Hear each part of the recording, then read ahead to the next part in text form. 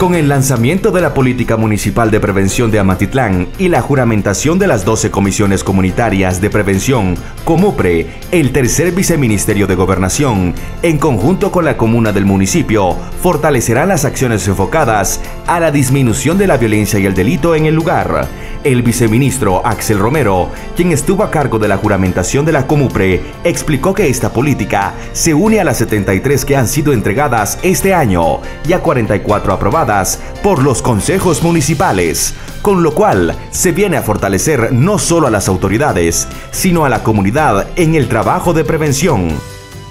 Lo que se conforma es una red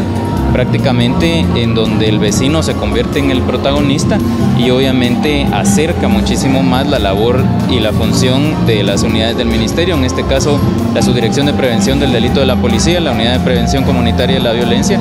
la estación o la subestación local eh, y la municipalidad. La política fue formulada para cuatro años y contempla diferentes programas enfocados en la promoción, facilitación y apoyo ciudadano y el desarrollo de las comunidades para evitar el delito.